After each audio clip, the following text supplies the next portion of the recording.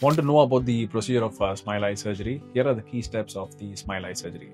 I'm Dr. Advaith Sai Alampur, cataract, cornea, and LASIK surgeon at Envision LASIK Center, Hyderabad. Now, when you lie down for the smile eye surgery, first thing what the patient notices is a green blinking light. So we normally ask the patient to focus on the green blinking light. So when you're focusing the green light, a small cups, a small cup comes and holds your eye. Now, during this process, the laser time is about 25 to 30 seconds. During this laser time, the laser, basically the femtosecond laser, is preparing a small lenticule. Now, this entire process finishes within 30 seconds. Once that is done, then what the surgeon does is they have to dissect the lenticule. First, the surgeon dissects the anterior part of the lenticule, that is the front part, and then the uh, back part. The lenticule, once it's dissected, we just remove the lenticule through a small 2 millimeter incision and the surgery is completed.